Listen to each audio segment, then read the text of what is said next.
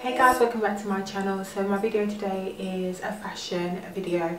I've promised to do this a while ago and I did upload one the other day and I hated it so I decided to take it off and do it again and I added a few more casual looks and um, just basically try to change up what I originally put up but um, these are more like try-ons, they're not outfits that I'm actually going to wear out. I just wanted to showcase what I recently bought in the last month and some of them are in the sales but I will mention all the details in the video. I hope you enjoyed the video and thank you for watching. Bye.